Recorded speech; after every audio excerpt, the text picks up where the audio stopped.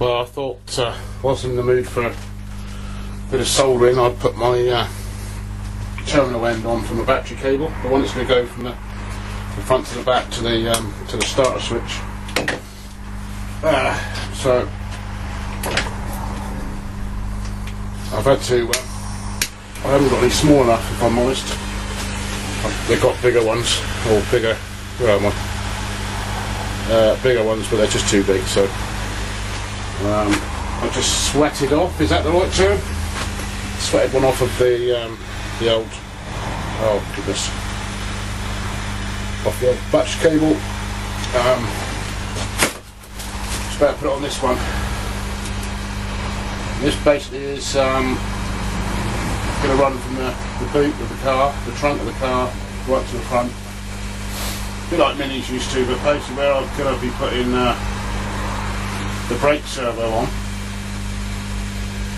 the car, I've got no room for something's going to have to go basically. Um, I could get a an internal heater, but it's money again, so it's easier for me to just um, run a cable from the front to the back and put the battery in the back. So that's what we're we're up to.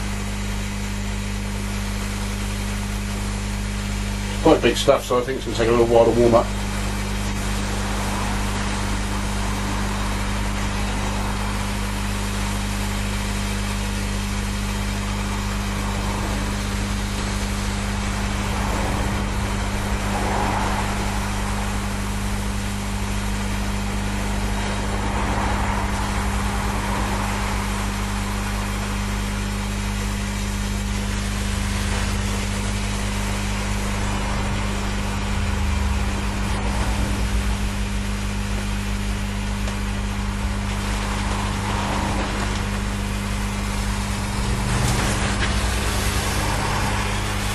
Do it.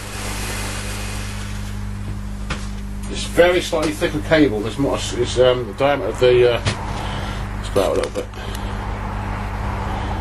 The um, diameter of the cable that I'm using is very slightly thicker, and it's just because that's what I've got, basically.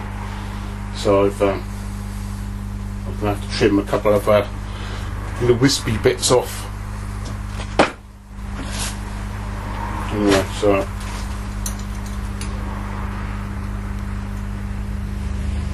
Alright, so that's on that, good luck again. Okay. Okay, so I've got um, my battery cable just loosely pulled into the boot, into the trunk of the car. I've got a grommet there ready to put in the hole.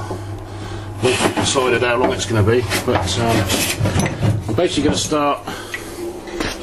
Um, I'm going to use uh, these little P clips uh, along with these little rivets. They've got a nice big head on them. And I'm going to run along the car, starting up the front end, uh, dropping the rivets everywhere, and um,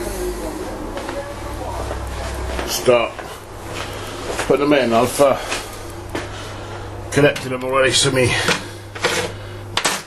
to my uh, starter pull, and I've got one P clip connected. That's the uh, the cable from the starter motor. So I'm just basically going to run it down the bulkhead.